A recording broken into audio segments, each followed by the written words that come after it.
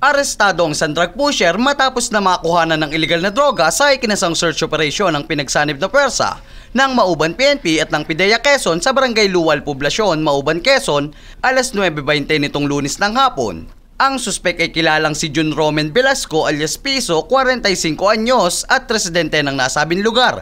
Bit-bit ng Mauban Raiding Team ang search warrant na may kinalaman sa illegal na droga. Sa paghahalughog ng Mauban Raiding Team ay nakuha partikular sa kanyang kwarto ang tatlong sachet ng illegal na droga.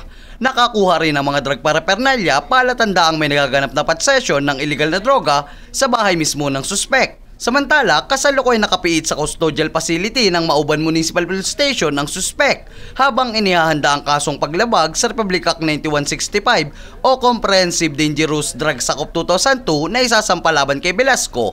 Ako si Ferdinand Ramilo, bandilyo natin, hatid naming taga rito sa atin.